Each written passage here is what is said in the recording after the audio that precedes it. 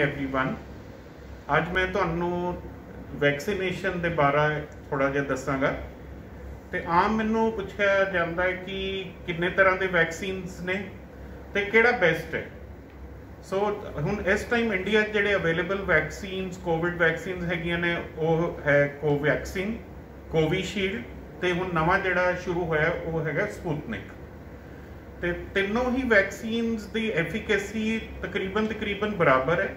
ਸੋ ਜਿਹੜਾ vaccine available ਹੈਗਾ, ਉਹ ਲਗਵਾ ਲੈਣਾ ਚਾਹੀਦਾ